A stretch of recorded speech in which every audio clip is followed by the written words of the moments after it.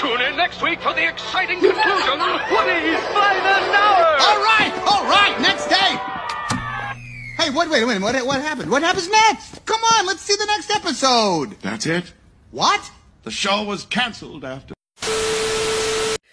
Well, as you could tell from the video that you just saw and the title of the video, the iCarly reboot was canceled after three seasons on Paramount Plus.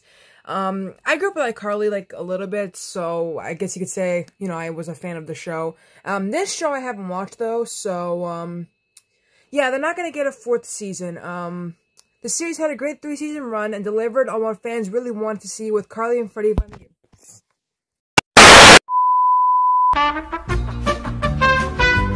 My camera fell. eh. Anyways, um. So yeah, that's what the Paramount spokesperson said about it. Um. The original show ran for six seasons though, so like. I'm not really too sure why they canceled this. Variety isn't really giving much information. We'll have to go to USA Today. Because they left us on a really big cliffhanger, which was Carly's mom. Uh. Let's see what we have here.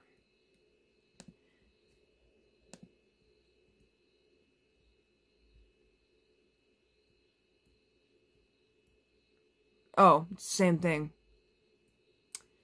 Okay. Well, yeah, so it was just canceled. Um, they just wanted to end it with Carly and Freddie finally getting together, but then they ended it with the cliffhanger of Carly finding her mom or whatever, and we never got to see her mom, so Hey man, thanks Paramount Plus, you fucking assholes.